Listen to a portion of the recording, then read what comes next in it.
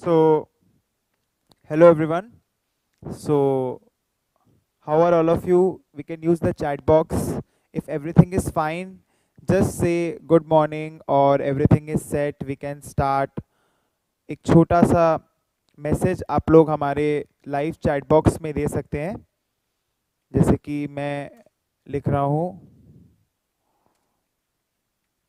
So I will know कि कौन कौन मेरा क्लास अटेंड कर रहा है एंड लाइक आप लोग सबको एवरीथिंग इज़ नॉर्मल और नॉट वेरी गुड ऐसे करके सब लोग एक छोटा सा मैसेज दे दीजिए हमें, तब फिर क्या है कि हम लोग स्टार्ट कर सकते हैं।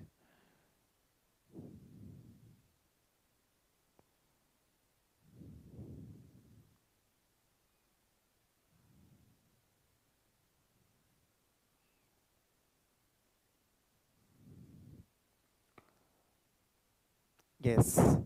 So,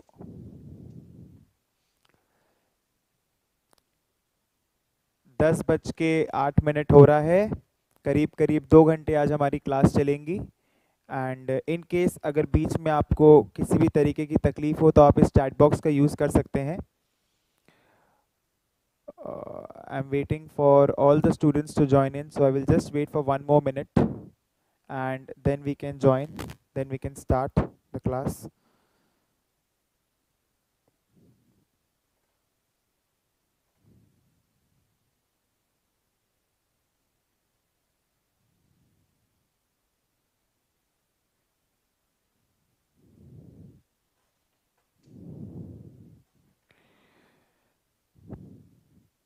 okay. So, चलिए हम लोग स्टार्ट करते हैं।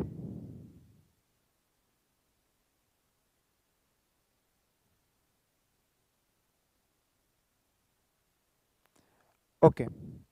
सो, आज का जो हमारा टॉपिक रहेगा that is random variable random variable इसका नोट्स हम लोग को बहुत अच्छे से बनाना है। आज का जो हमारा टॉपिक रहेगा that is random variable okay so last class हमने बेसिक प्रोबेबिलिटी सीखा था एंड आज हम लोग रैंडम वेरिएबल सीखेंगे। तो सबसे पहले रैंडम वेरिएबल दो शब्द है रैंडम है वेरिएबल भी है। तो सबसे पहले वेरिएबल का मतलब समझते हैं वेरिएबल क्या होता है। तो x plus Y is equal to ten अगर मैं ये लिखूं तो यहाँ पर x और y वेरिएबल्स है, क्योंकि अगर मैं बोलता हूँ कि x वैल्यू लेगा वन अगर x वैल्यू लेगा वन तो मेरा y क्या वैल्यू ले सकता है? y क्या वैल्यू ले सकता है? नाइन अगर x वैल्यू लेगा टू तो y क्या वैल्यू लेगा? आठ. तो y क्या वैल्यू लेगा? आठ. तो इसका मतलब क्या है? इसका मतलब क्या है कि वेरिएबल्स तो हम लोग को आज तक हमने पढ़ा है कि x के अलग अलग वैल्यूज़ के y के भी अलग अलग वैल्यूज़ हो सकते हैं। एंड यहाँ पर जैसे मैंने कंडीशन दिया है कि x plus Y is equal to ten ठीक है? अच्छा तो व्हाट इज़ अ रैंडम मैंने एक बच्चे से पूछा बताओ व्हाट इज़ रैंडम वेरिएबल तो उसने बोला सर एक ऐसा वेरिएबल जो कि रैंडम वैल्यूज़ ले सकता है, उसको हम लोग रैंडम वेरिएबल बोलेंगे. नहीं, बिल्कुल नहीं। वो तो वेरिएबल हुआ। बिकॉज़ वेरिएबल जब x लेगा वन तो y लेगा नाइन x लेगा टू तो y लेगा eight okay now what is random variable जब हम लोग प्रोबेबिलिटीज को एसोसिएट कर देते हैं, तब वो वेरिएबल क्या बन जाता है? रैंडम वेरिएबल जब भी हम लोग प्रोबेबिलिटीज को एसोसिएट कर देंगे, तब वो वेरिएबल क्या बन जाएगा? रैंडम वेरिएबल ठीक है? अभी कुछ नहीं लिखना है, आप लोग को बस खाली सुनना है एंड आराम से सुनिए। मैं क्या बोल रहा हूँ? आराम से सुनिए। ऐसे समझिए कथा चल रहा है और आप लोग को सुनना है इस कथे को कथा को। ठीक है? आइए। मैंने दो कॉइन उछाला टू कॉइन टॉस ठीक है? तो मेरा सैंपल स्पेस क्या बनेगा? Head head head tail tail head and tail tail ये मेरा सैंपल स्पेस बनेगा। बोलो ना हाँ कमेंट बॉक्स में बोलो ना हाँ। तो मैंने दो कॉइन टॉस किया, ये मेरा सैंपल स्पेस बनेगा। ठीक है? अब मैं एक एक्स डिफाइन करता हूँ। मैं एक्स को डिफाइन करता हूँ। Number of tails number of tails मैंने x को क्या डिफाइन किया? नंबर ऑफ़ टेल्स तो x क्या क्या वैल्यू ले सकता है? कोई कमेंट बॉक्स में बता सकता है क्या? टेल्स देखिए, या तो दो हो सकता है, या फिर एक हो सकता है, या फिर ज़ीरो भी हो सकता है। तो मैंने बोला ज़ीरो वन टू तो x क्या क्या वैल्यूज़ ले सकता है? ज़ीरो वन टू मैं x, ये जो है ना x, ये मेरा रैंडम वेरिएबल है। अभी देखो, थोड़े दिन में, थोड़ी देरी में समझ में आ जाएगा कि क्या होता है। x, ये जो है, ये मेरा रैंडम वेरिएबल ठीक है? मैंने बोला कि x क्या क्या वैल्यूज़ ले सकता है?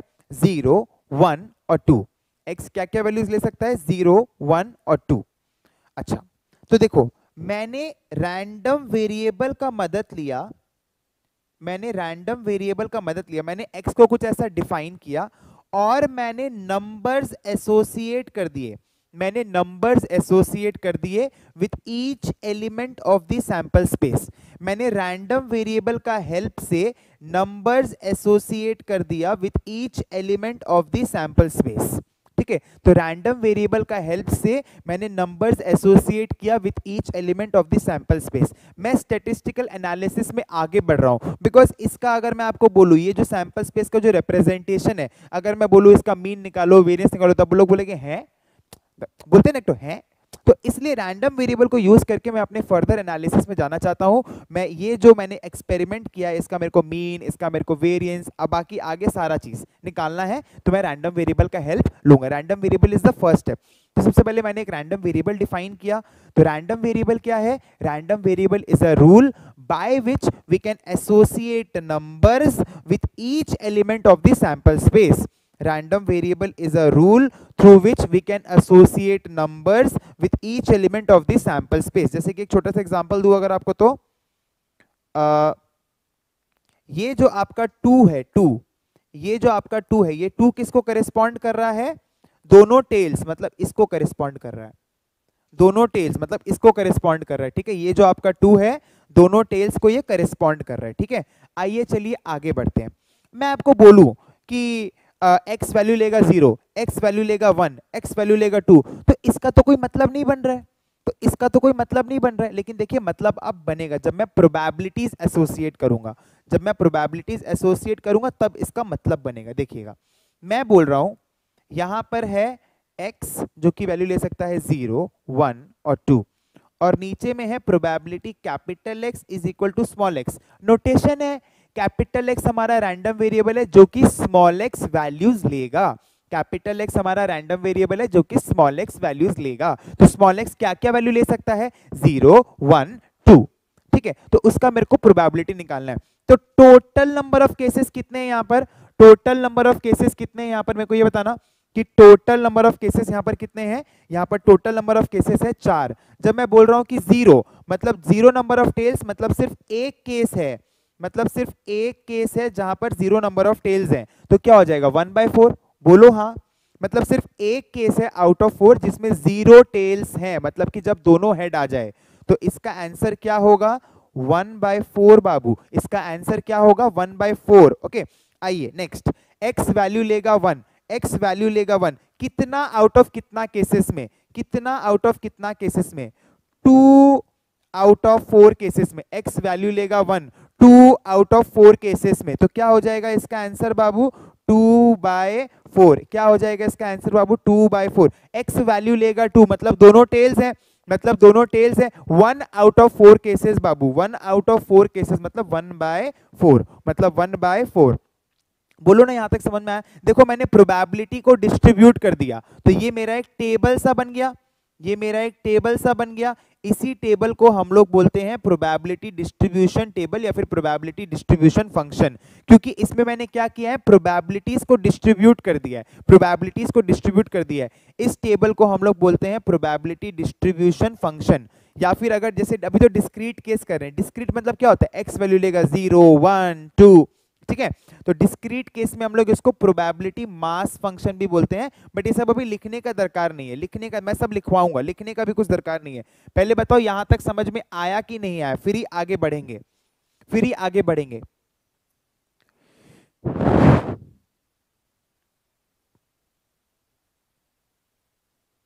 ओके, चलिए आगे बढ़ते हैं।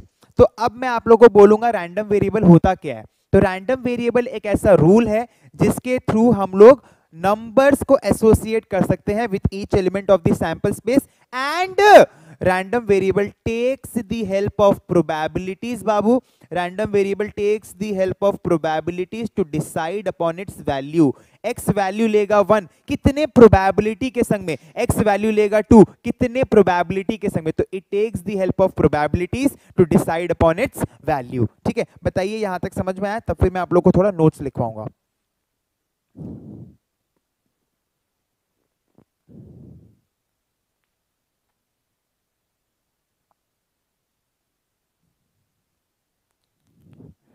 ओके तो आइए, चलिए। अब हम लोग नोट्स लिखेंगे। सबसे पहले हेडिंग लगाना रैंडम वेरिएबल सबसे पहले हेडिंग लगाना रैंडम वेरिएबल रैंडम वेरिएबल इसका जो नोटेशन है that is capital X is equal to small X capital X is equal to small X का मतलब क्या होता है? कैपिटल एक्स हमारा रैंडम वेरिएबल है, जो कि स्मॉल एक्स वैल्यूज़ लेगा। कैपिटल एक्स हमारा रैंडम वेरिएबल है, जो कि स्मॉल एक्स वैल्यूज़ लेगा। ठीक है? तो ये हमारा इसका नोटेशन हो गया। उसके बाद में, उसके बाद में आगे बढ़ते हैं। रैंडम वेरिएबल जो होता है, वो दो टाइप का होता है। रैंडम वेरिएबल जो होता है, वो दो टाइप का होता है। पहला होता है डिस्क्रीट और दूसरा होता है कंटिन्यूस अब हम लोग इन दोनों के बीच का फ़र्क समझेंगे।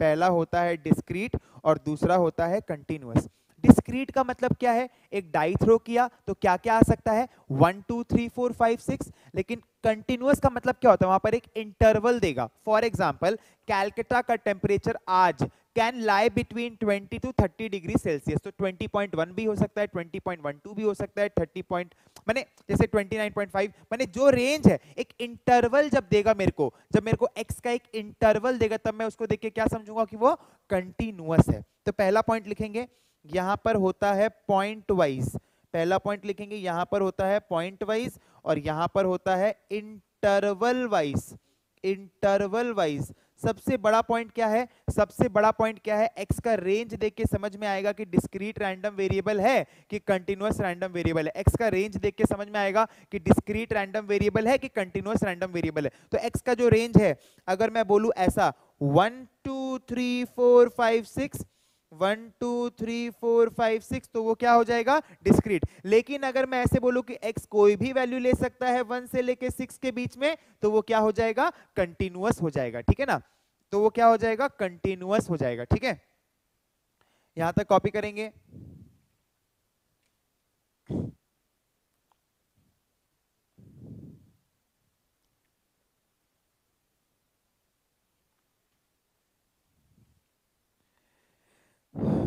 Okay Ayush Sharda Ayush you are from which batch Ayush Sharda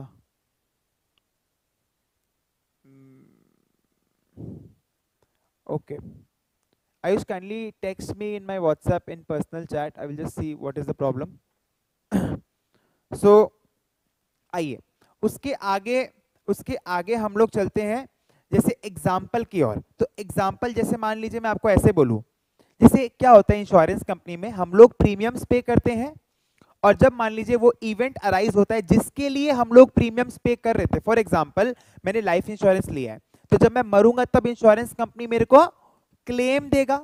तो जो क्लेम का जो नंबर है, जैसे for example number of claims insurance company has paid in a day तो number of claims is always discrete या तो कोई भी क्लेम नहीं देगा, या फिर एक क्लेम देगा, या फिर दो क्लेम देगा, या फिर दस क्लेम देगा। तो number of claims paid by an insurance company is a discrete random variable लेकिन क्लेम का जो अमाउंट है वो तो कुछ भी हो सकता है। क्लेम का जो अमाउंट है वो तो दो लाख तीस हज़ार पचास समथिंग भी हो सकता है। जो क्लेम का जो अमाउंट है, वो कंटिन्यूअस होता है जनरली क्लेम का जो अमाउंट है वो क्या होता है? कंटिन्यूअस रैंडम वेरिएबल बिकॉज़ उसका क्या होता है? कुछ भी हो सकता है. It can take the value let's suppose आप हॉस्पिटल में भर्ती होते हो एंड आपका मेडिकल इंश्योरेंस लिया हुआ है. अगर आप हॉस्पिटल में भर्ती होते हो और आपका जो मेडिकल इंश्योरेंस लिया हुआ है तो इस केस में आपका जो बिल बनता है सत्रह का. तो वो एग्जैक्टली exactly अगर इंश्योरेंस कंपनी आपको रीइंबर्स करता है तो वो क्या हो जाएगा? कंटिन्यूस रैंडम वेरिएबल हो जाएगा. ठीक है? जब भी रेंज ऑफ़ वैल्यूज़ होगा. फॉर एग्ज़ाम्पल टेम्परेचर का मैंने आपका एग्ज़ाम्पल लिया. ठीक है टेम्परेचर का मतलब क्या है? कैलकाटा का या फिर मान लेते हैं Delhi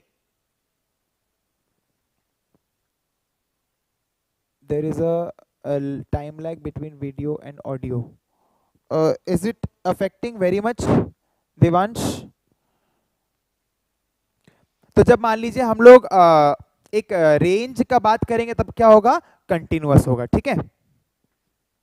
ओके लिखिएगा।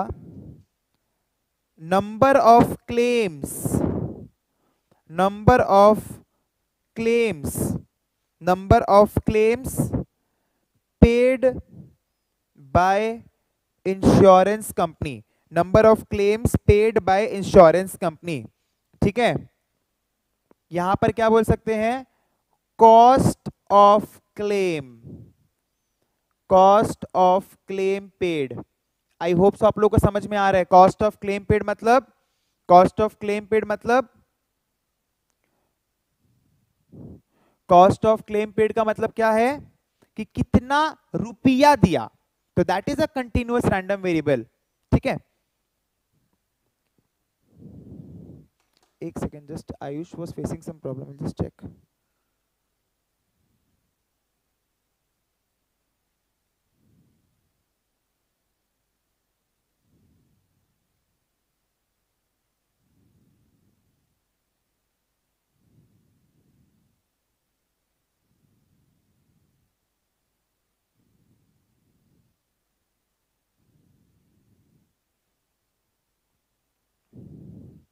okay so cost of claim paid अच्छा एक और पॉइंट ऑफ़ डिफरेंस है, एक और पॉइंट ऑफ़ डिफरेंस है जो मैं आप लोग सबको बताना चाहूँगा।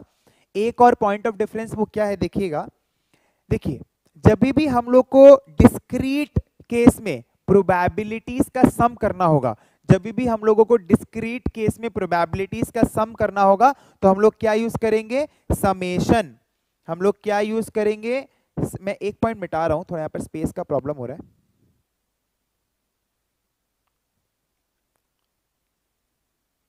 जब हम लोग को यहाँ पर सम करना होगा तो हम लोग यूज़ करेंगे summation for example die throw किया वन आने का प्रोबेबिलिटी क्या है? वन बाई सिक्स टू का वन बाई सिक्स थ्री का वन बाई सिक्स तो अगर मेरे को मान लीजिए सम ऑफ़ प्रोबेबिलिटीज निकालना है तो मैं क्या करूँगा? सिंपली सम कर दूँगा और समेशन वाला सिंबल को यूज़ करूँगा. लेकिन जब कंटिन्यूस में मेरे को करना होगा तो मैं क्या यूज़ करूँगा? इंटीग्रेशन बाबू इंटीग्रेशन सम करने के लिए यहाँ पर समेशन है और यहाँ पर इंटीग्रेशन है। Because integration is nothing but summing over a continuous range यहाँ से यहाँ तक इंटीग्रेट करते हैं मतलब क्या? वहाँ से वहाँ तक सम करते हैं, ठीक है? तो summing over a continuous range involves integration and summing over a discrete range involves summation okay so this was the basic difference between discrete random variable and continuous random variable agar yahan tak samajh mein aaya hai tab hum log aage badhenge aur hum log pehla karenge which is discrete random variable drv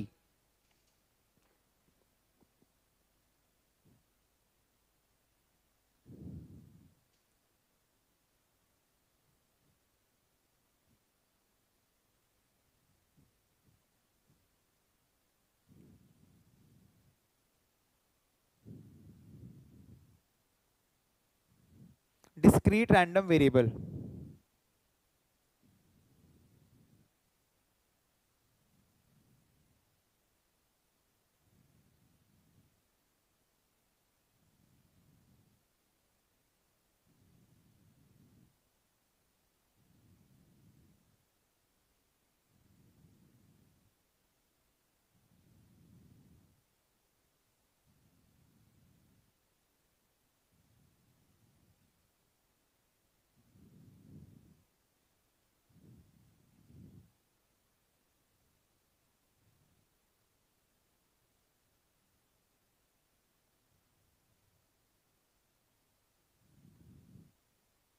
okay तो आइए चलिए।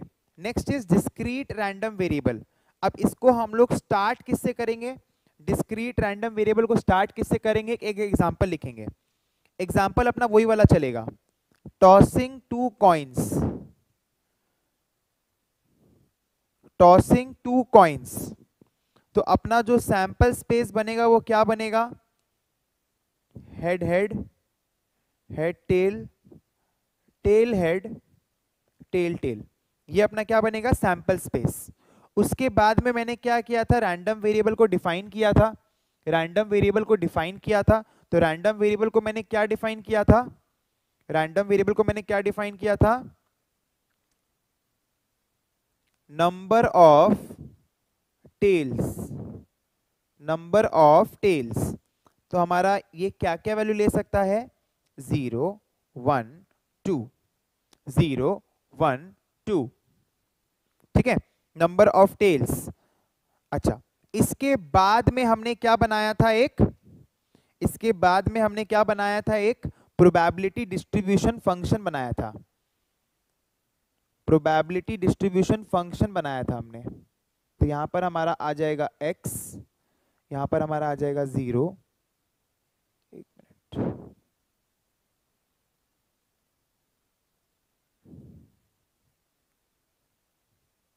1 2 so probability capital X is equal to small x probability capital X is equal to small x तो यहाँ पर क्या हो जाएगा 1 by 4 2 by 4 1 by 4 ठीक है तो इसको हम लोग बोलते हैं प्रोबेबिलिटी डिस्ट्रीब्यूशन फ़ंक्शन या फिर प्रोबेबिलिटी मास फ़ंक्शन क्योंकि मैंने इसमें क्या किया है? प्रोबेबिलिटीज को डिस्ट्रीब्यूट किया है। मैंने इसमें क्या किया है? प्रोबेबिलिटीज को डिस्ट्रीब्यूट किया है। ठीक है? ओके तो यहाँ तक कॉपी हो जाए तो बताना। यहाँ तक कॉपी हो जाए तो बताना।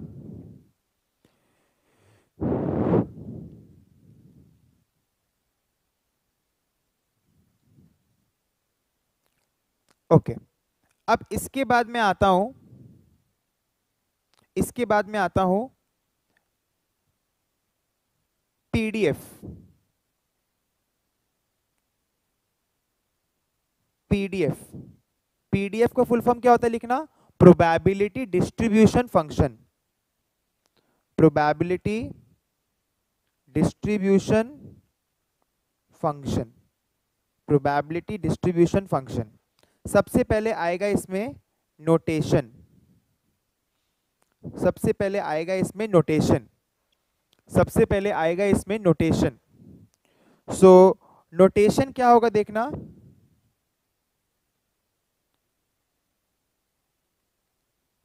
एफ़ एक्स ये सब स्मॉल एफ़ एक्स है, ठीक है? स्मॉल एफ़ एक्स ये जो नीचे वाला जो है, ये जो नीचे वाला जो है ये जो नीचे वाला जो है, ये कैपिटल एक्स है और ये क्या है? स्मॉल एक्स है। फिर अगेन ये स्मॉल एक्स है। एक और नोटेशन होता है which is equal to probability capital x is equal to small x तो ये तीनों जो है, ये क्या है? पीडीएफ के नोटेशन है। या तो प्रोबेबिलिटी डिस्ट्रीब्यूशन फ़ंक्शन बोल सकते हैं, या फिर इसको पीएमएफ भी बोल सकते हैं। प्रोबेबिलिटी मास फ़ंक्शन भी इसको बोल सकते हैं। प्रोबेबिलिटी मास फ़ंक्शन भी इसको बोल सकते हैं। इन तीनों का जो मतलब है मतलब सेम है हमारा मतलब क्या है? Probability at a particular point x probability at a particular point x no one will share the class link to outsiders because someone was commenting and he hasn't taken classes from us So it's a strict warning from all the group members to not share this link outside to any of the members. If I find that they are sharing the same link with their friends or some, something, I will get to know and uh, I will not listen anything at that point of time. So please don't share these links. It's only for you. Okay. So uh, probability at a particular point x probability at a particular point x मतलब एक particular point पे कितना probability है, उसको हम लोग बोलते हैं पीडीएफ जैसे, अपना वो जो एग्जांपल था ना, अपना वो जो डाई वाला जो सॉरी कॉइन वाला जो एग्ज़ाम्पल था तो उस कॉइन वाले एग्जांपल का अगर मैं बात करूँ तो उस कॉइन वाला जो एग्जांपल था, उसमें अपने क्या किए थे, देखना। वो जो कॉइन वाला जो एग्जांपल था, उसमें अपने, मैं मिटाता हूँ इसको। अपना वो जो कॉइन वाला जो एग्जांपल था, उसमें अपने क्या किए थे, अगर उसके सब जाए तो एफ़ एक्स ज़ीरो इसका मतलब क्या है capital x is taking the value zero या फिर इसको हम लोग एफ़ ज़ीरो भी बोल सकते हैं। या फिर इसको बोल सकते हैं probability capital x is equal to zero इसका प्रोबेबिलिटी क्या था? One by four again f x one या फिर इसको हम लोग एफ़ वन भी बोल सकते हैं। सब लोग स्मॉल एफ़ यूज़ करना, अपने मन से कैपिटल एफ़ मत यूज़ कर लेना because small f and capital f में डिफरेंस है। Small f is for PDF and capital F is for CDF okay, small f is for PDF and capital F is for CDF तो वो हम लोग इसके बात करेंगे।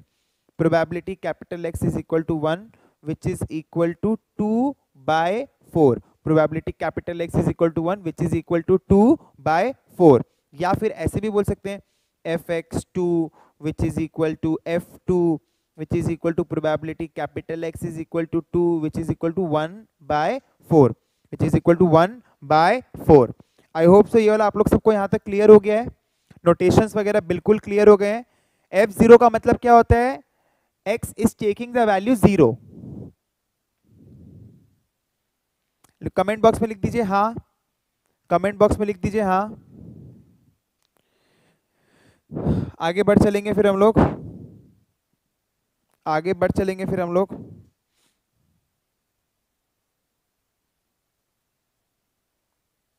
ओके। ओके। चलिए। Okay. So, very good very good. Okay. Now लिखिएगा conditions for a valid PDF conditions for a valid PDF.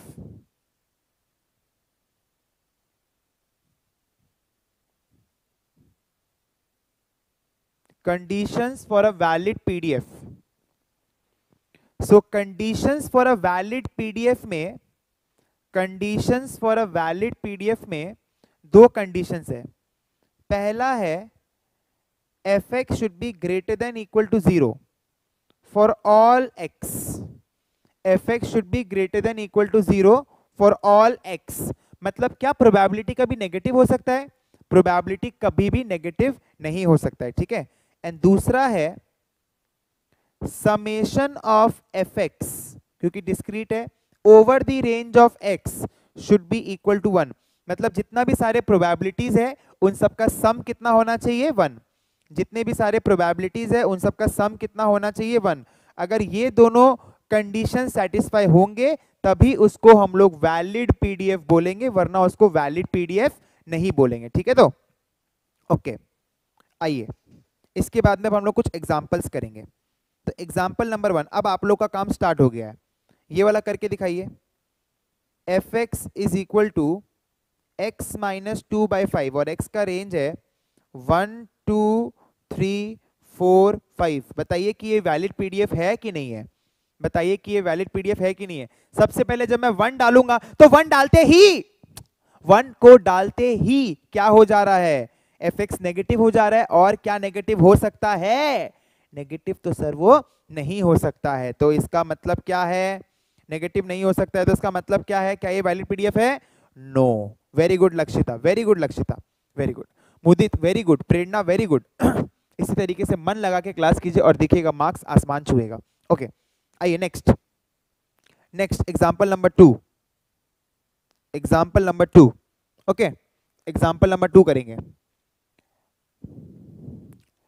F x is equal to x square by thirty f x is equal to x square by thirty and x का जो range है one two three four अब बताइए कि ये valid PDF है कि नहीं है? पहले सम वाला, पहले सबसे पहले चेक करेंगे कि पॉजिटिव है कि नहीं है, फिर सम वाला चेक करेंगे। Sum of all the probability should be one cannot exceed one करके बताइए फटाफट।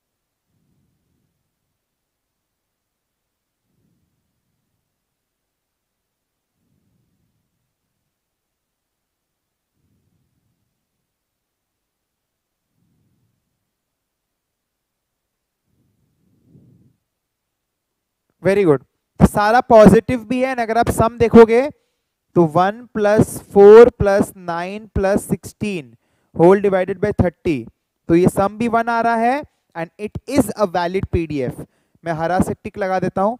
It is a valid PDF okay it is a valid PDF it is a valid PDF okay एक और सम करेंगे इसमें हम लोग. Example number three example number three example number three f x is equal to f x is equal to one by four where x is one comma two comma three comma four अब बताइए कि ये valid PDF है कि नहीं है? अब बताइए कि ये वैलिड पीडीएफ है कि नहीं है?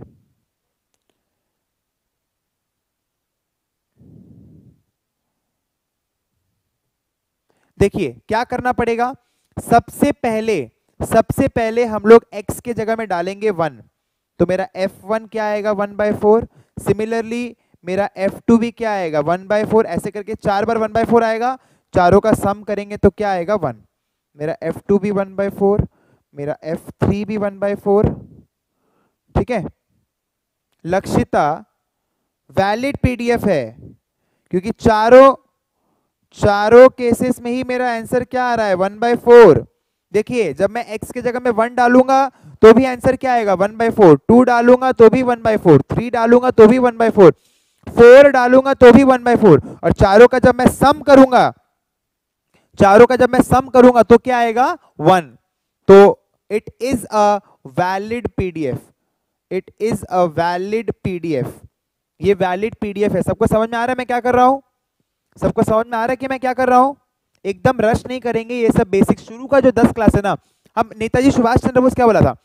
तुम लोग मुझे खून दो, मैं तुम्हें आज़ादी दूँगा। तुम लोग मेरे को अपना शुरू का दस क्लास दे दो, मैं तुम्हें सी एस वन से आज़ादी दे दूँगा। बिकॉज़ इतना इंपॉर्टेंट है ना ये सारी चीज़ समझना, आगे जाके बहुत दिक्कत होता है। ठीक है नेक्स्ट एक सम मैं दे रहा हूँ, वो करके दिखाना। F x is equal to x by five f x is equal to x by five x का जो रेंज है one comma two comma three comma four comma five अच्छा एक बात बताना तो कैसे पता लग रहा है कि ये डिस्क्रीट रैंडम वेरिएबल है? एक्स का रेंज देख के एक्स का रेंज देख के पता लग रहा है कि ये डिस्क्रीट रैंडम वेरिएबल है। एक्स का रेंज देख के पता लग रहा है कि ये डिस्क्रीट रैंडम वेरिएबल है ओके तो बताना, देखो, इसमें क्या होगा ना, सब पॉजिटिव तो आ जाएँगे, लेकिन एक बार सम चेक करना, एक बार सम चेक करना सम जब करूँगा ना तो पता क्या आएगा? One plus two plus three plus four plus five by five ठीक है? तो ये क्या हो जाएगा? लाल से कर दे रहा हूँ। Not a valid PDF not a valid PDF as sum is greater than one very good very good very good not a valid PDF very good excellent very good okay आइए। अब हम लोग आगे चलेंगे। अब हम लोग आगे चलेंगे। हल्का सा मैं आप लोग को आपके क्लास ट्वेल्व का कुछ रिवाइज कराना चाहता हूँ, जो कि है आपका हेडिंग लगाना। Sequence and series sequence and series हल्का सा इसको रिवाइज करेंगे अभी हम लोग। सीक्वेंस एंड सीरीज़ हल्का सा इसको हम लोग रिवाइज करेंगे सीक्वेंस एंड सीरीज़ को। सबसे पहले sum of the first n natural numbers जो कमेंट बॉक्स में पहले बता दिया, उसको मान जाएँगे। Sum of the first n natural numbers sum of the squares of the first n natural numbers sum of the cubes of the first n natural numbers ये तीनों बहुत इंपॉर्टेंट है। कौन बताएगा? पहले वाले का आंसर होगा पहले वाले का आंसर होगा n into N plus one by two दूसरा होगा n into N plus one दूसरा होगा n into N plus one दूसरा लेगा बताओ, n n plus one two N plus one by six N into N plus one two N plus one by six और तीसरा वाला क्या होगा? n into N plus one by two का whole square N into N plus one by two का whole square तो ये तीन बहुत इंपॉर्टेंट है। अब हम लोग थोड़ा बहुत फटाफट से एपी एंड जीपी को रिवाइज करेंगे। अब हम लोग थोड़ा बहुत फटाफट से एपी जीपी को रिवाइज करेंगे, ठीक है? अरिथमेटिक एंड ज्योमेट्रिक प्रोग्रेशन को रिवाइज करेंगे। तो सबसे पहले अगर हम लोग देखें तो एपी में क्या होता है? अरिथमेटिक प्रोग्रेशन में क्या होता है? नंबर्स कैसे होते हैं? A A plus D A plus two D dot dot ऐसे नंबर्स होते हैं। तो इसका जो एथ टर्म है, वो क्या होता है? A plus N minus one into D N हो गया हम लोग का number of terms in the AP एक होता है कॉमन डिफरेंस तो यहाँ पर हम लोग का कॉमन डिफरेंस क्या है? डी कॉमन डिफरेंस कैसे निकालते हैं? कॉमन डिफरेंस कैसे निकालते हैं? Second minus first third minus second difference same रहेगा डिफरेंस सेम रहेगा, ठीक है? कॉमन डिफरेंस डी है एंड एंड जैसे मान लो कॉमन डिफरेंस सेम है एंड उसके बाद में एन क्या हो गया हम लोग का? नंबर ऑफ़ टर्म्स हाँ देखो तो कॉमन डिफरेंस मेरा डी हो गया number of terms number of terms number of terms कितना है? एन एंड जो एस एन का फॉर्मूला होता है, वो होता है N by two into A plus L N by two into A plus L या फिर इसको हम लोग क्या लिख सकते हैं? N by two into two A plus N minus one into D okay so S N का फॉर्मूला क्या होता है? N by two into A plus L where L is the last term या फिर ऐसे भी बोल सकते हैं N by two into two A plus N minus one into D क्या बोल सकते हैं? N by two into A plus L या फिर अगर मैं लास्ट टर्म को ब्रेकअप करूँ तो N by two into two A plus N minus one into D ठीक है? तो ये तुम्हारा क्या हो गया? अरिथमेटिक प्रोग्रेशन अब इसके बाद में जीपी वो मैं एन एक बार लिखना भूल गया था, कोई दिक्कत नहीं। जीपी जीपी में कैसा होता है? A A R A R square dot dot dot ऐसे जाता है। इसका जो एन एथ टर्म होगा वो क्या होगा? A R to the power N minus one इसमें क्या होता है? Common ratio third by second is equal to second by first is equal to fourth by third इसमें कॉमन रेशियो होता है। तो हम लोग का जो कॉमन रेशियो यहाँ पर क्या आ रहा है? आर यहाँ पर हम लोग का R is the common ratio and इसके एस के मल्टीपल फॉर्मूलाज है। पहला है ए एस का फॉर्मूला क्या होता है बताना? एस का फॉर्मूला क्या आएगा? A one minus R to the power N by one minus R when R is less than one एक होता है A R to the power N minus one R to the power N minus one by R minus one when R is greater than one दोनों से answer same ही आता है but presentation में फ़र्क पड़ता है। दोनों से आंसर तो सेम ही आता है बट प्रेजेंटेशन में हल्का फ़र्क पड़ता है, ठीक है? उसके बाद में, उसके बाद में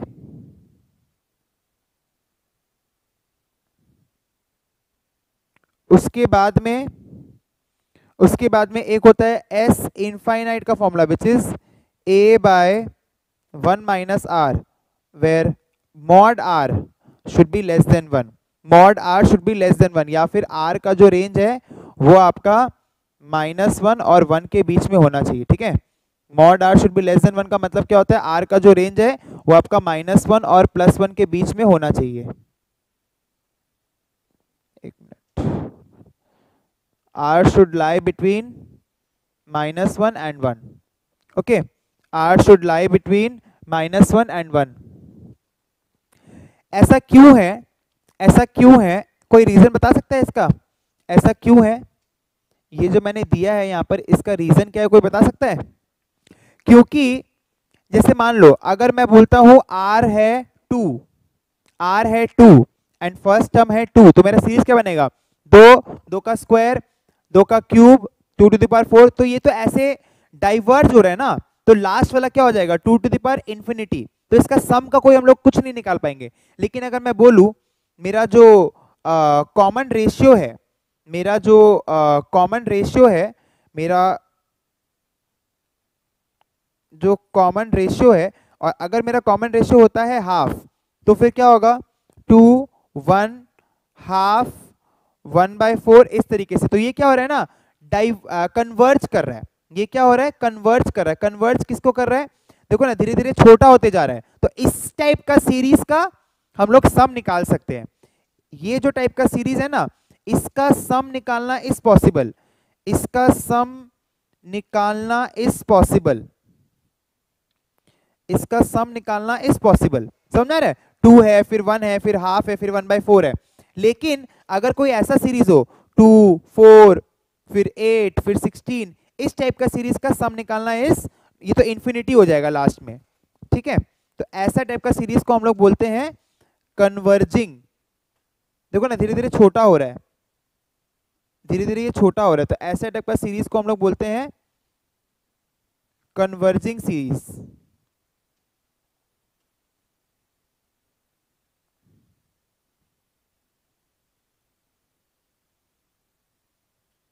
कन्वर्जिंग ठीक है? और इस सबको हम लोग बोलते हैं डाइवर्जिंग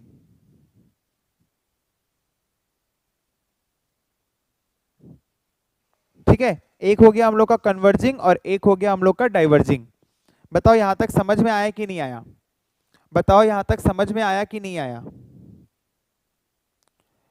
सो so, जो एस इनफाइनाइट वाला है जो एस इनफाइनाइट वाला जो है जो एस इनफाइनाइट वाला जो है आ, उसका R should be between minus one and one तभी उसका हम लोग सम निकाल पाएँगे वरना हम लोग उसका सम नहीं निकाल पाएँगे ओके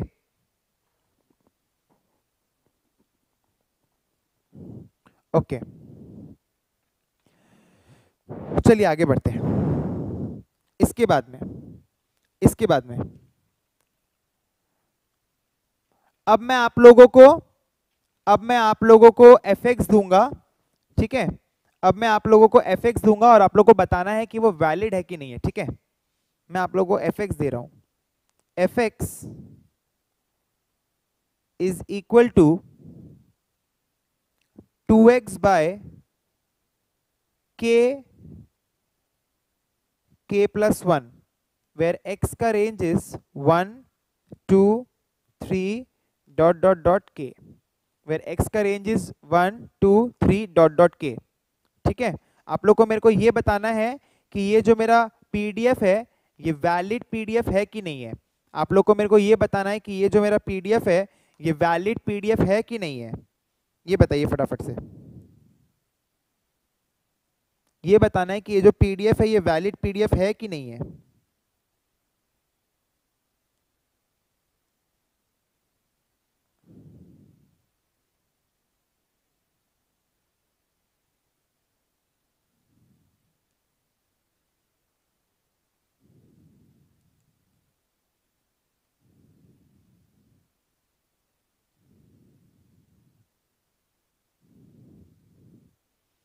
कैसे करेंगे देखिएगा? तो पहला वाला तो कंडीशन सेटिस्फाई हो ही रहा है।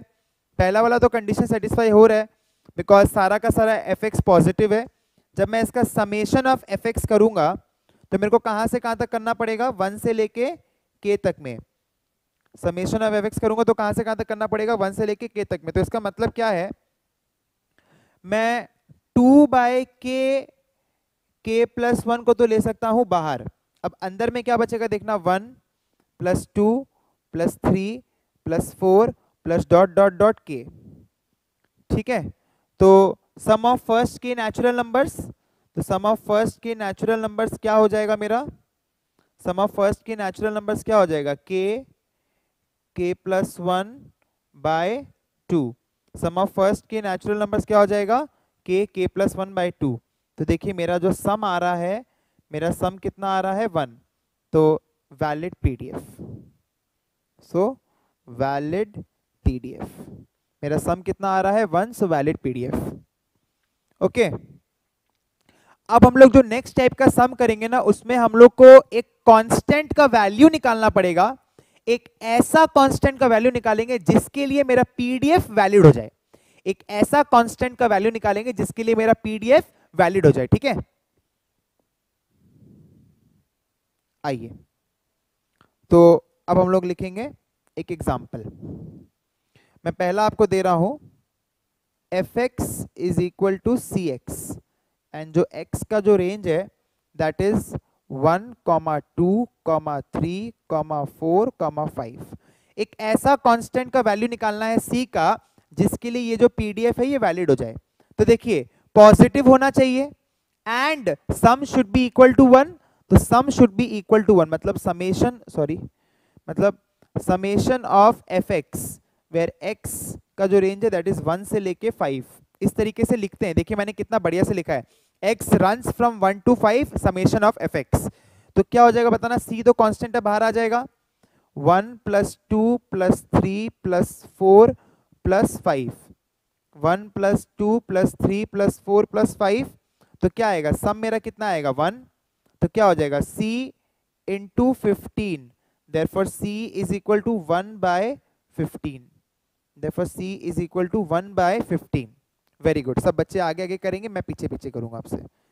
नेक्स्ट क्वेश्चन अब नेक्स्ट है F X is equal to C into five by X ठीक है? C into five by X and यहाँ पर जो x का रेंज दिया हुआ है सेम रेंज है one two dot dot dot five तक है। One comma two comma three comma four comma five आप लोग को कांस्टेंट का वैल्यू निकालना है तो कैसे निकालेंगे? अब फाइव सी तो मेरा बाहर आ जाएगा, और अंदर में क्या बचेगा? One plus half plus one by three plus one by four plus one by five है ना? Now this should be equal to one now this should be equal to one Devansh Kanodia देख के करो सम सीधा सीधा लिख दे रहे हो थ्री कुछ भी बोल रहे हो फिर सब का सब रॉन्ग है मैंने बोला c into five whole divided by X है एक्स नीचे है क्या कर रहे हो लक्षिता चौधरी भी थ्री लिख दिए करो इसको सॉल्व करो इसका एलसीएम लो इसका एलसीएम लेके बताओ सी का आंसर कितना आ रहा है। ये नहीं समझ में आ रहा तो मैं फिर से इसको रीराइट कर दे रहा हूँ। This is 5c by x. This is 5c by x. सबका आंसर आएगा तो ही आगे बढ़ेंगे। सी का आंसर आएगा 12 बाय 137 सी का आंसर आएगा 12 बाय 137 बोलो ना हाँ। बोलो ना हाँ सबके सब। कि सी का आंसर आया कि नहीं आया? 12 बाय 137 नेक्स्ट नेक्स्ट करेंगे. F X is equal to C X square F X is equal to C X square and X का जो हमारा रेंज है that is one comma one comma two comma three comma dot dot dot up to K ठीक है, ये मेरा x का range है। कैसे पता लगेगा कि ये डिस्क्रीट है? x का रेंज देख के पता लगता है कि डिस्क्रीट है। x का रेंज देख के पता लगेगा कि डिस्क्रीट है। तो सबका sum should be one therefore C बाहर आ गया। One square plus two square plus three square plus dot dot dot K square should be equal to one तो यहाँ से मेरा आंसर क्या आएगा? सी अच्छा sum of the squares of the first K natural numbers sum of the squares of the first K natural numbers मेरा कितना आ जाएगा? K into K plus one into two K plus one by six K into K plus one into two K plus one by six is equal to one देखो C का answer क्या आएगा? Six by K K plus one two K plus one this is my answer this is my answer बताना समझ में आया कि नहीं आया कमेंट बॉक्स में? दिस इज़ माई आंसर एक और सम करेंगे। एक और सम करेंगे। F X sorry F X is equal to F X is equal to C one by four to the power X देखना ढंग से मैं क्या लिखा हूँ? C into one by four whole to the power x. And यहाँ पर जो मेरा एक्स का रेंज है that is one comma two comma three comma dot dot dot up to infinity ये मेरा एक्स का रेंज है. अगर ये मेरा एक्स का रेंज है तो क्या होगा? One should be equal to c अच्छा one by four to the power x है ना तो पहले में क्या आ जाएगा? वन बाय फोर, फिर वन बाय फोर का स्क्वायर फिर वन बाय फोर का क्यूब ऐसे जा रहा है? Dot dot up to infinity तो यहाँ पर देखेंगे तो second term by first term is what one by four third term by second term is what one by four तो ये क्या हो जाएगा? सम ऑफ़ इनफाइनाइट जीपी और यहाँ पर क्या है? देखो, जो मेरा कॉमन रेशियो है, क्या उसका वैल्यू माइनस वन और वन के बीच में है?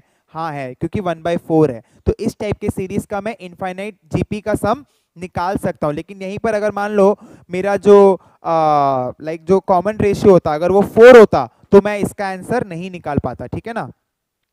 तो कैसे करेंगे इसको देखना? One is equal to c मेरा फ़र्स्ट टर्म क्या है? ए क्या है? मेरा first term one by four a by a by मैंने क्या फॉर्मूला लिखवाया था?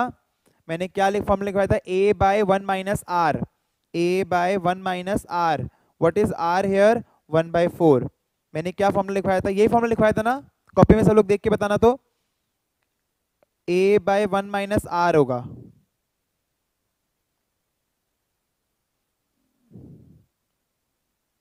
एक बार कॉपी में प्लीज़ चेक कर लो ना a by one minus r लिखवाया कि a by r minus one लिखवाया a by one minus r होगा। एक बार कॉपी में चेक कर लेना तो मुदित, दिवांश चेक करके बताओ यही लिखवाया है ना?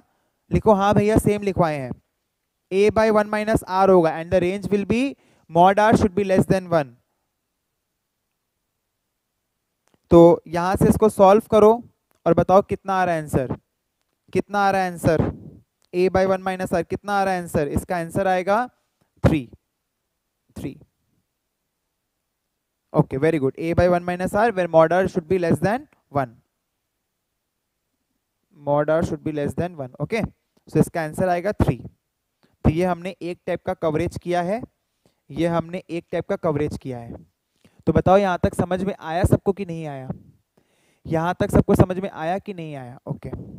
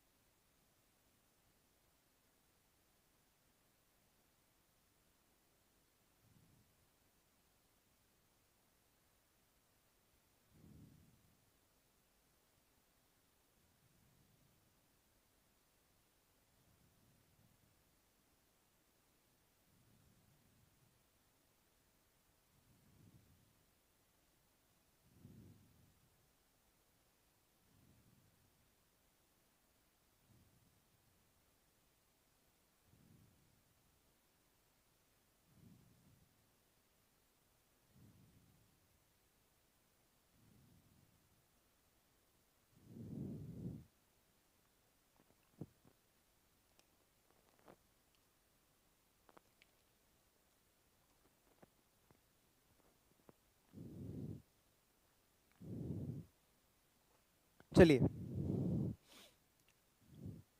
अब हम लोग नेक्स्ट चलते हैं। ग्राफ ऑफ़ पीडीएफ में।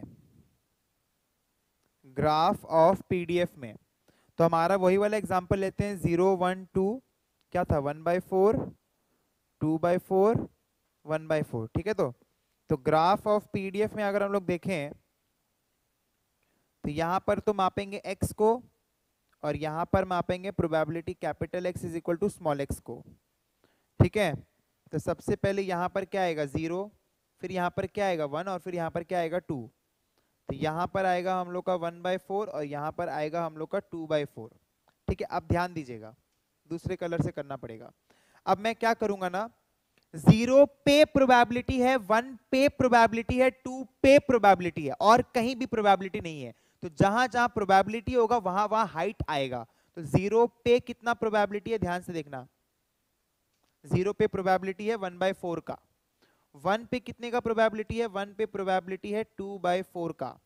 एंड टू पे कितने का प्रोबेबिलिटी है? वन बाय फोर का। ठीक है? तो चीज़ समझिएगा। अब इसको बहुत लोग क्या करते हैं? डिज़ाइनिंग करने के लिए। बहुत लोग क्या करेंगे इसका? डिज़ाइनिंग करने के लिए इसको ऐसे ऐसे ज्वाइन कर देंगे। ज्वाइन करने कौन बोला भाई? ज्वाइन करने तो कोई बोला नहीं है ज्वाइन नहीं होगा। ज्वाइन सब सीडीएफ में होगा। अभी पीडीएफ में क्या है? ज़ीरो पे कितना प्रोबेबिलिटी कैसे पता चलेगा? हाइट देख के पता लगेगा। देखिए हाइट देख के पता लगेगा। ये इतना प्रोबेबिलिटी है ज़ीरो पे। वन पे कितना प्रोबेबिलिटी है? टू बाई फोर और टू पे कितना प्रोबेबिलिटी है? वन बाई फोर हाइट देख के पता लगेगा कि कितना कितना प्रोबेबिलिटी है। मैं फिर से रिपीट कर रहा हूँ। हाइट देख के पता लगेगा कि कितना प्रोबेबिलिटी है। बताओ, यहाँ तक समझ में आया कि नहीं आया? यहाँ तक समझ में आया कि नहीं आया? This is a graph of pdf this is the graph of pdf this is the graph of pdf okay. Okay. Join नहीं करना है. नोट में लिख लो तो. नोट में लिख लो. नोट में लिखो. पीडीएफ में पीडीएफ में लाइंस ज्वाइन नहीं होगा. पीडीएफ में लाइंस ज्वाइन नहीं होगा.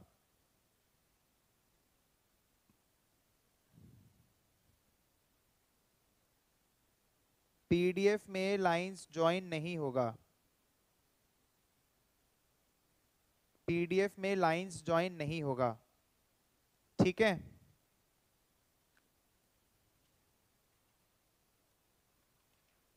पीडीएफ में लाइंस ज्वाइन नहीं होगा। आइए अब हम लोग आगे चलते हैं। आइए अब हम लोग आगे चलते हैं।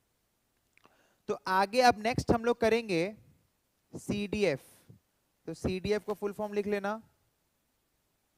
Cumulative distribution function cumulative distribution function तो क्यूमुलेटिव डिस्ट्रीब्यूशन फ़ंक्शन का सबसे पहले हम लोग लिखेंगे नोटेशन तो नोटेशन में हम लोग को क्या लिखना है?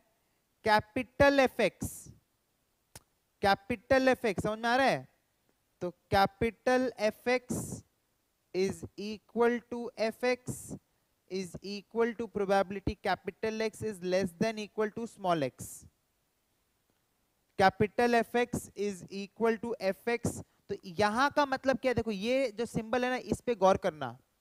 इसका मतलब क्या होता है? मैं लिखवा रहा हूँ। इसका मतलब क्या होता है है? Probability up to point x उस पॉइंट तक का प्रोबेबिलिटी जब पीडीएफ करे तो क्या था, उस पॉइंट पे प्रोबेबिलिटी मतलब उस पॉइंट पे कितना प्रोबेबिलिटी अभी क्या हो गया? उस पॉइंट तक का probability is what cumulative distribution function cumulative distribution function ठीक है? उस पॉइंट तक का प्रोबेबिलिटी ठीक है? ओके एक बात ध्यान रखना, एक बात ध्यान रखना। जब हम लोग, जब हम लोग पीडीएफ से सीडीएफ में जाएँगे तो हम लोग करेंगे प्लस तो हम लोग करेंगे प्लस और जब हम लोग सी से पीडीएफ में आएँगे तो हम लोग करेंगे माइनस ये और ये प्लस और माइनस का बात हो रहा है, ये किस चीज़ का? प्लस और माइनस का बात हो रहा है प्रोबेबिलिटीज का प्लस और माइनस का बात हो रहा है. किस चीज़ का प्लस और माइनस का बात हो रहा है? प्रोबेबिलिटीज का प्लस और माइनस का बात हो रहा है, ठीक है? तो इसको समझ लिए. अच्छा अब हम लोग देखेंगे बनाते कैसे ठीक है? बनाते कैसे वो सीखना पड़ेगा हम लोग को, ठीक है? आइए. तो सबसे पहले अपना वही वाला एग्ज़ाम्पल चल रहा है ज़ीरो वन और टू तो one by four two by four one by four ठीक है? बनाते कैसे दिखेगा? तो अभी ये बताना कि किस किस पॉइंट पे प्रोबेबिलिटी है? ज़ीरो पे है वन पे है और टू पे है.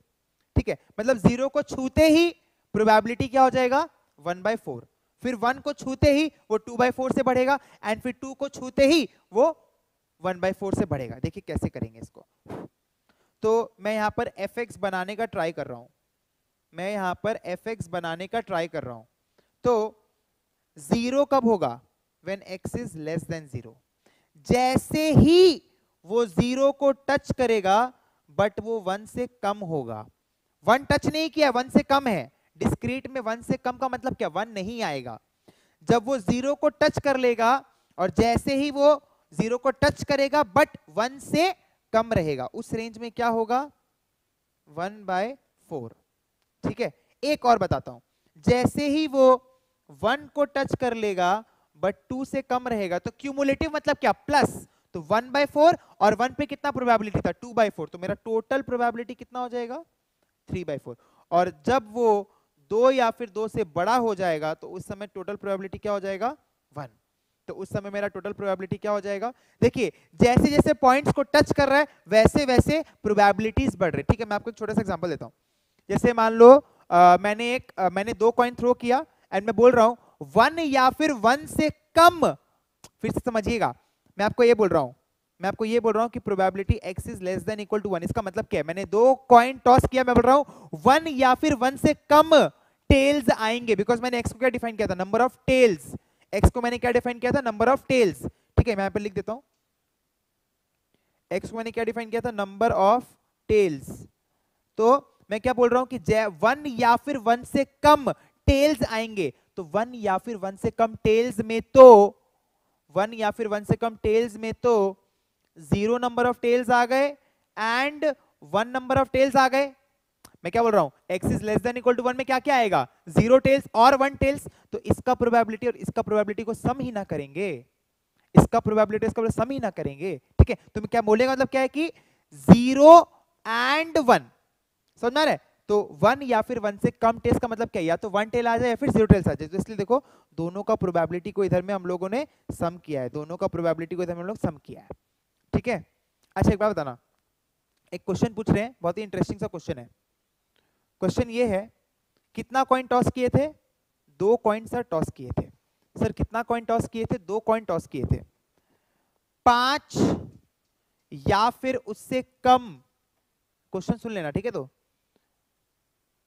पाँच या फिर उससे कम हेड्स सॉरी पाँच या फिर पाँच से कम टेल्स आने का प्रोबेबिलिटी बताइए बिकॉज़ मेरा एक्स क्या है? नंबर ऑफ़ टेल्स है। मैं पूछ रहा हूँ, दो कॉइन टॉस किए थे पाँच या फिर उससे कम टेल्स आएगा। इसका प्रोबेबिलिटी बताइए। मैंने बोला दो कॉइन टॉस किए थे, पाँच या फिर उससे कम टेल्स आएँगे इसका प्रोबेबिलिटी श्योर इवेंट है ना? बिकॉज़ जब दो कॉइन टॉस किया है तो मैक्सिमम नंबर ऑफ़ टेल्स कितना आ सकता है? मैक्सिमम नंबर ऑफ़ टेल्स कितना आ सकता है? दो। ठीक है? तो पाँच से तो कम ही हुआ।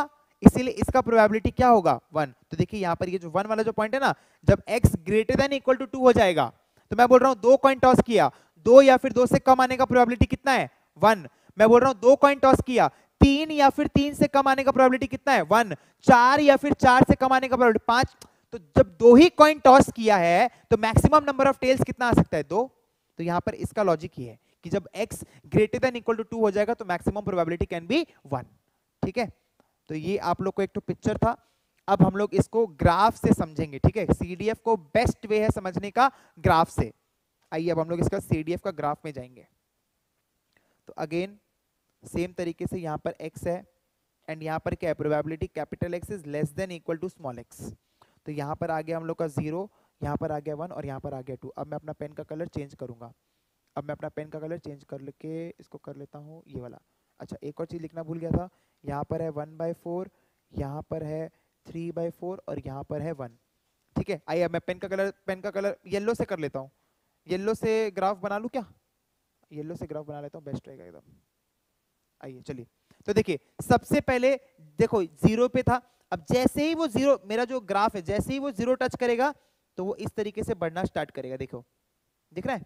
इस तरीके से वो बढ़ना स्टार्ट जैसे ही ज़ीरो टच किया मतलब प्रोबेबिलिटी कितना ले लिया वन बाय फोर अब फिर वो जा रहे जा रहे जा रहे जा रहे जा रहे जा रहे जा रहे जा रहे जा रहे जा रहे जा रहे जा रहे जैसे ही वन आ गया जैसे ही वन आ गया फिर से कितना का हाइट लेगा टू बाय फोर का हाइट और ले लेगा तो उसका टोटल हाइट कितना हो गया टोटल हाइट कितना हो गया थ्री बाय फोर अब फिर वो जा रहे जा रहे जा रहे जा रहे जा रहे जा रहे जा रहे जा रहे जा रहे जैसे ही टू आया, फिर वो क्या करेगा? एक और हाइट लेगा वन बाय फोर का। तो टोटल हाइट कितना हो गया? वन अब फिर वो जाएगा, ऐसे ही जाएगा। क्या और ऊपर जा सकता है क्या?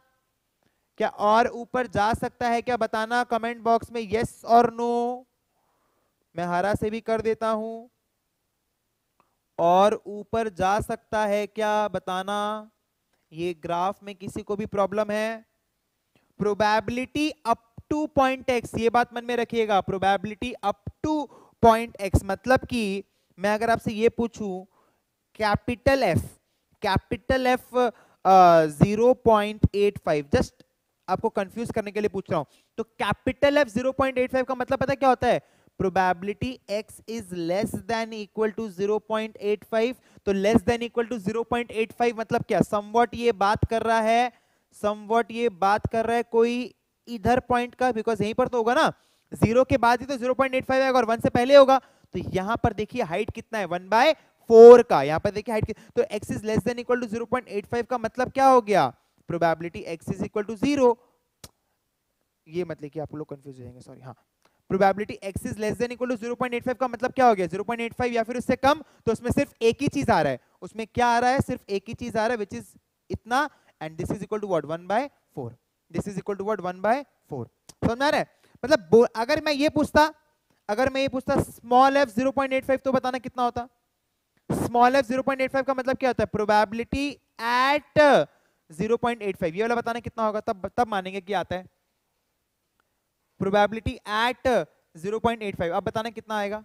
ज़ीरो बिकॉज़ उस पॉइंट पे तो कोई प्रोबेबिलिटी है ही नहीं।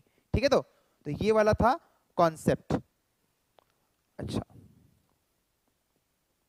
वेरी गुड सबको समझ में आ रहा है? बहुत बहुत बहुत खुशी हो रहा है, ठीक है? बहुत ज़्यादा खुशी हो रहा है। नेक्स्ट आइए। Conditions conditions for a valid CDF. Conditions for a valid CDF valid CDF के लिए क्या क्या कंडीशंस है? Conditions for a valid CDF तो वैलिड सीडीएफ के लिए सबसे पहला F x should be greater than equal to zero for all x दूसरा है it should be it should be a non decreasing function of x. It should be a non decreasing function of x.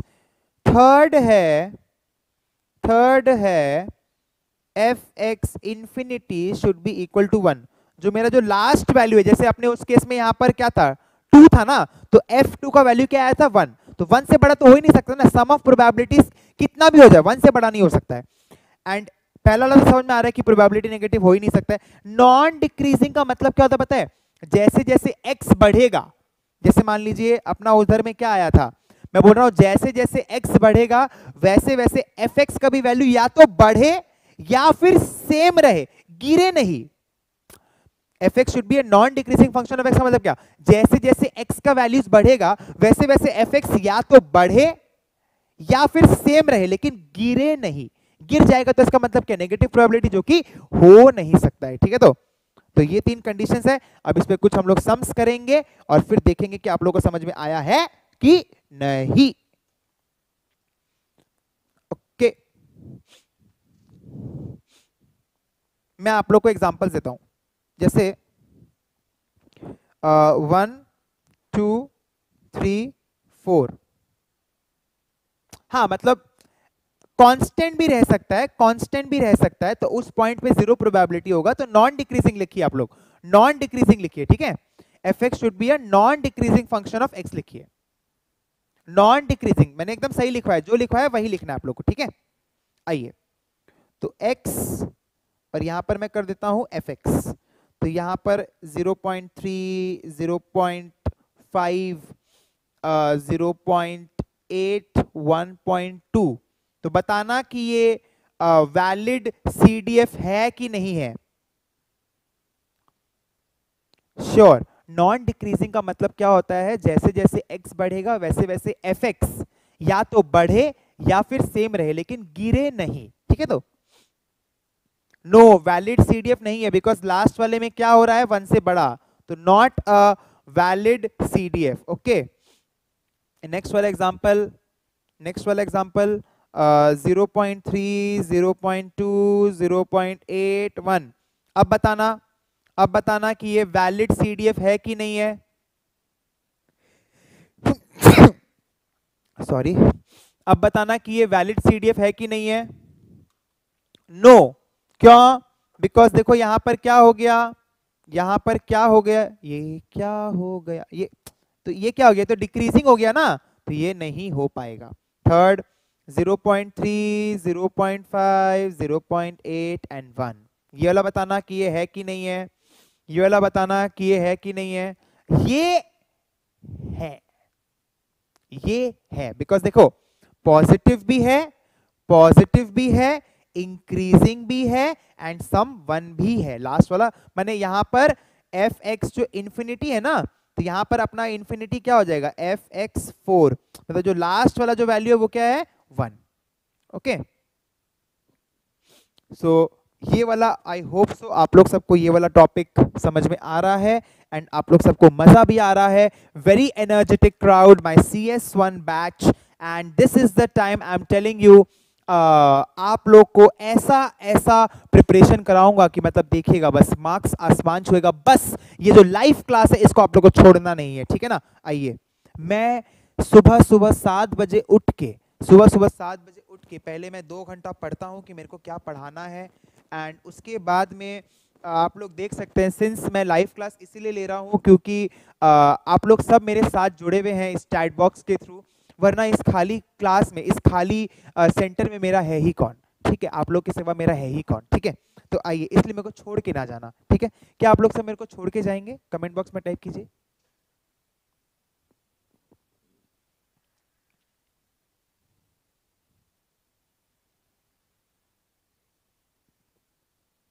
नहीं very good आइए तो F x F x मैं दे रहा हूँ zero one by three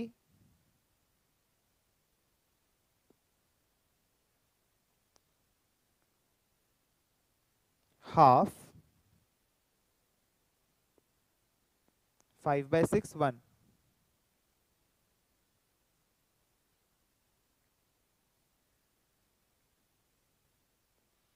zero one by three half five by six one अब range देखिएगा। ज़ीरो कब होगा? When x is less than one फिर जैसे ही वन टच कर रहा है बट फोर से कम है। फिर जैसे ही फोर टच कर रहा है बट सिक्स से कम है। फिर जैसे ही सिक्स टच कर रहा है बट टेन से कम है and x is greater than equal to ten तो ये मेरा क्या है? ये मेरा सी डी एफ़ है बिकॉज़ कैपिटल एफ़ एक्स है। ये मेरा सी डी एफ़ है कैपिटल एफ़ एक्स है, ठीक है? तो ये जो मेरा सी डी एफ़ है, अब मेरे को इससे ना कुछ भी करना हो, जब भी हम लोग को सी डी एफ़ दे दे तो कुछ भी आप लोग को करना हो ना, सबसे पहला स्टेप हम लोग क्या सीखेंगे? उसको पीडीएफ में कन्वर्ट कैसे करना है? उसको पीडीएफ में कन्वर्ट कैसे करना है? तो ये हम लोग को सीडीएफ दे दिया है अब हम लोग को इसको सबसे पहले पीडीएफ में कन्वर्ट करना पड़ेगा, तभी जाके कुछ भी प्रोबेबिलिटी निकालना हो फिर कुछ भी करना हो। पीडीएफ से ही निकालेंगे सीडीएफ से नहीं निकालेंगे बिकॉज़ सीडीएफ हम लोग को मिसलीडिंग रिजल्ट्स भी दे सकता है, ठीक है? तो सबसे पहले इसको हम लोग को पीडीएफ में कन्वर्ट करना पड़ेगा। तो इसको पीडीएफ में कन्वर्ट करने के लिए सबसे पहले हम लोग को वो पॉइंट्स आइडेंटिफाई करना पड़ेंगे कि जहाँ जहाँ पर छूने से प्रोबेबिलिटी आया है। जैसे देखो वन को छुआ तो प्रोबेबिलिटी बढ़ा फिर फोर को छुआ तो प्रोबेबिलिटी बढ़ा, फिर सिक्स को छुआ तो प्रोबेबिलिटी बढ़ा और फिर टेन को छुआ तो प्रोबेबिलिटी बढ़ा। बोलो ना हाँ। तो one four six ten are the points जहाँ पर प्रोबेबिलिटी है। तो एक्स क्या हो जाएगा? वन फोर सिक्स टेन ये चार पॉइंट्स है जहाँ पर हमारे प्रोबेबिलिटीज हैं। तो अब मेरे को निकालना है कि कितने कितने प्रोबेबिलिटी है। सिंपल है माइनस कर दीजिए। सिंपल है माइनस कर दीजिए। तो माइनस कैसे करेंगे देखना? वन को छूते ही प्रोबेबिलिटी हो गया वन बाई थ्री जो कि पहले था ज़ीरो तो वन पे कितना प्रोबेबिलिटी है? वन बाई थ्री फोर को छूते ही प्रोबेबिलिटी हो गया हाफ़ जो कि पहले था वन बाई थ्री तो फोर पे कितना प्रोबेबिलिटी है? फोर पे कितना प्रोबेबिलिटी है? Half minus one by three six को छूते ही प्रोबेबिलिटी हो गया फाइव बाई सिक्स जो कि पहले था हाफ़ तो सिक्स पे कितना प्रोबेबिलिटी है? Five by six minus half and ten को छूते ही प्रोबेबिलिटी हो गया वन जो कि पहले था फाइव बाय सिक्स तो टेन पे कितना प्रोबेबिलिटी है? One minus five by six तो बताएँगे कि फोर सिक्स और टेन में कितना प्रोबेबिलिटी है? बताएँगे, जल्दी से बताएँगे। जल्दी से बताएँगे, फिर हम लोग प्रोबेबिलिटीज भी कैलकुलेट करके देखेंगे। फिर हम लोग प्रोबेबिलिटीज भी कैलकुलेट करके देखेंगे।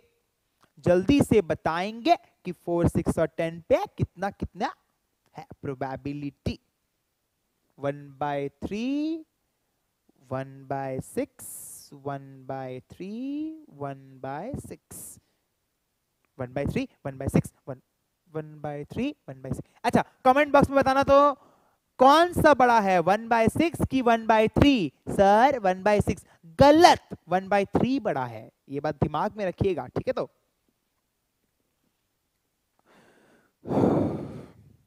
ओके तो ये मेरा टेबल बन गया है।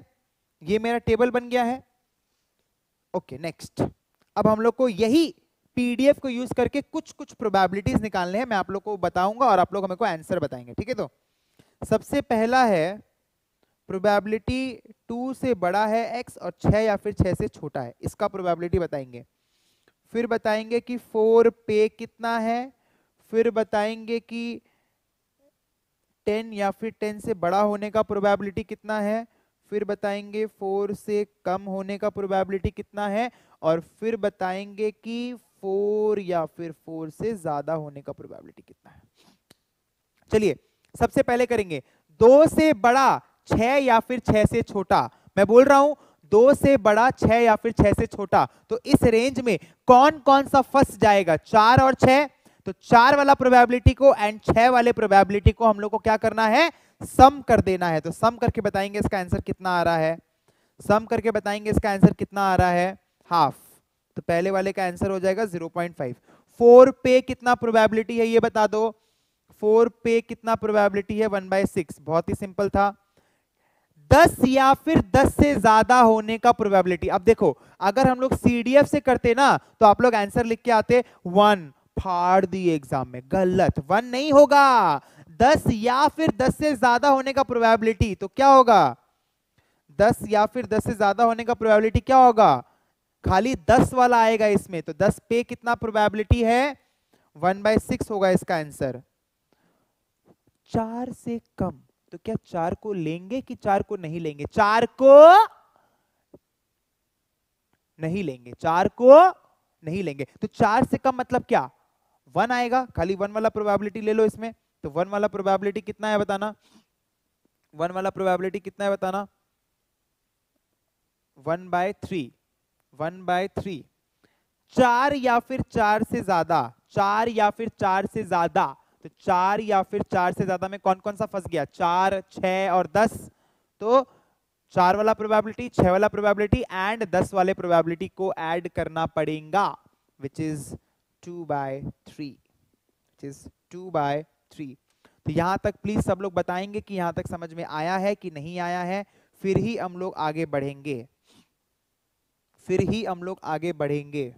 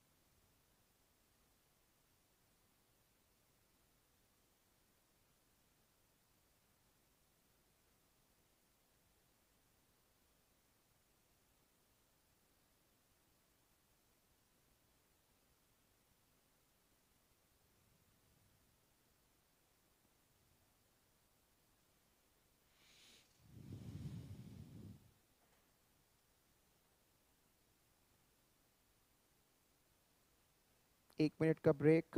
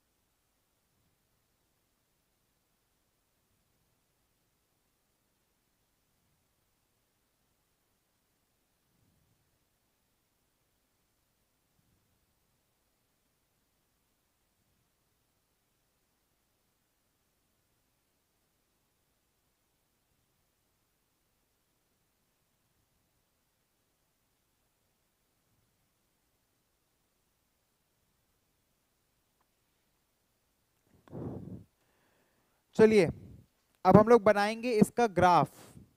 अब हम लोग बनाएँगे इसका ग्राफ। तो इसका ग्राफ में देखिएगा कैसे बनेगा इसका ग्राफ। सबसे पहले इसका पीडीएफ का ग्राफ बनाने का ट्राई करते हैं।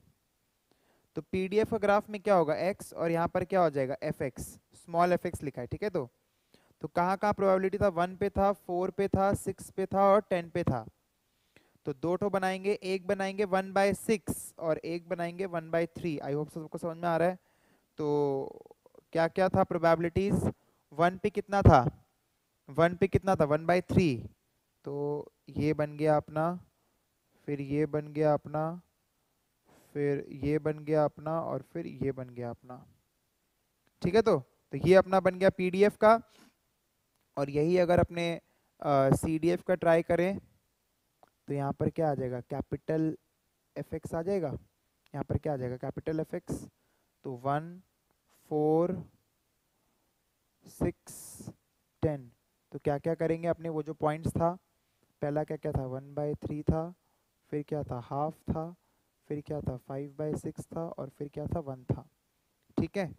तो अब अपने इसका लाइन बना लेते हैं। तो वन से ऐसे जा रहा है, फिर ऐसे जाएगा, फिर हाइट लेगा फिर ऐसे जाएगा, फिर हाइट लेगा, फिर ऐसे जाएगा, फिर हाइट लेगा और फिर ऐसे जाएगा। So this is the thing so I hope से समझ में आ रहा है। दिस इज़ व्हाट पीडीएफ का graph and this is what CDF का graph PDF and CDF two things are there PDF and CDF two things are there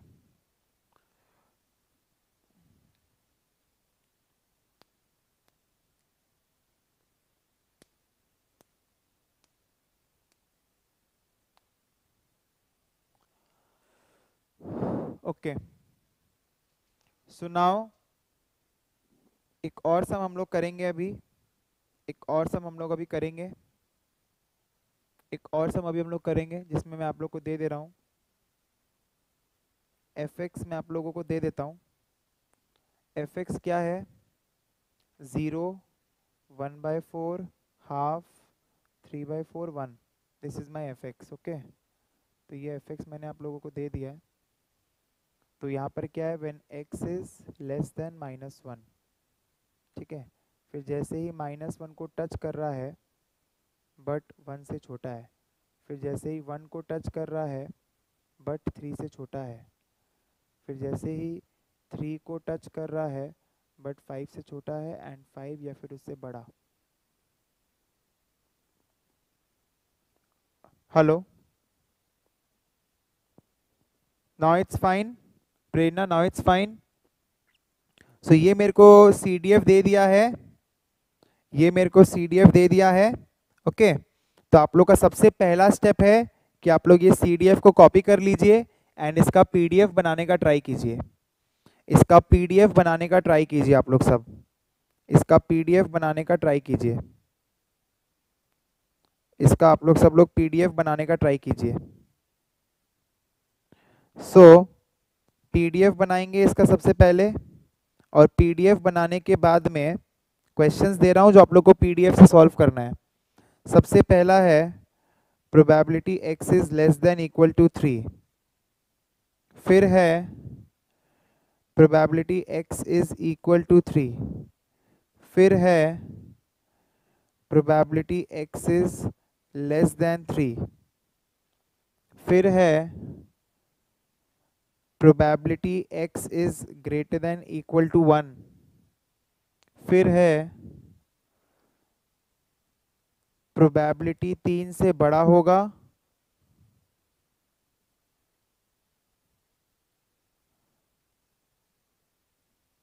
but five से छोटा होगा। और फिर है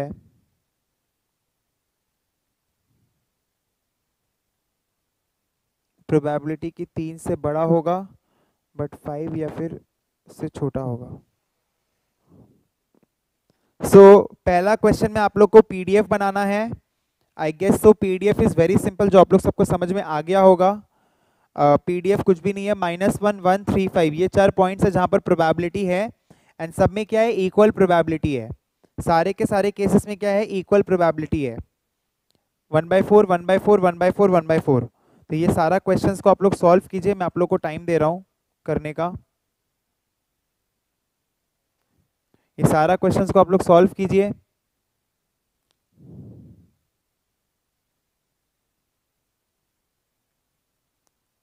इसका आंसर आएगा वन बाई फोर इसका आंसर आएगा टू बाई फोर इसका आंसर आएगा three by four greater than equal to one का आंसर आएगा थ्री बाई फोर इसका आंसर आएगा थ्री बाई